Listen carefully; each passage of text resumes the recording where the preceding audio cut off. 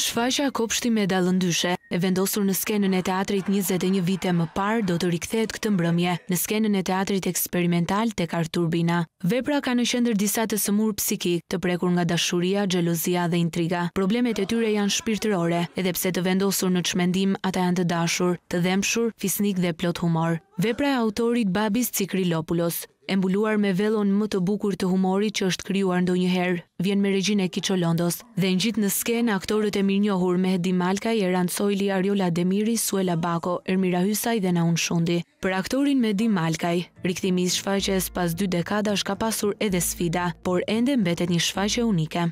Është më e vështirë se sa herën e parë, duhet dilja nga ai Stavro për të krijuar një Stavro tjetër. Është një çfaqje që njeriu qesh me me me dhimbje edhe qan me dhimbje. Jam shumë serioz në këtë që do të them.